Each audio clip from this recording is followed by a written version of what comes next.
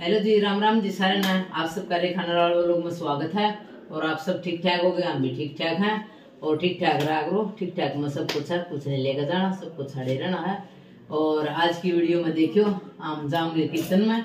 और कीर्तन में आज एक नचगर गणा बढ़िया जो मतलब गाय कराएँगे और उन गाय करा में एक बुढ़ा गाय छोरा जाट का। और वो बोले का दीवाना हो रहा है। और उसने देखियो, कितना दीवाना हो रहा है, कितनी प्यारी वीडियो पर देखोगे तो लास्ट तक देखना कितनी प्यारी बाहर द्वार पर कोई व्यक्ति आपसे मिलने के लिए जिद कर रहा है। जाओ ले आओ उसे। भोले बाबा की जय हो। बोलो वत्स क्या कहना चाहते हो?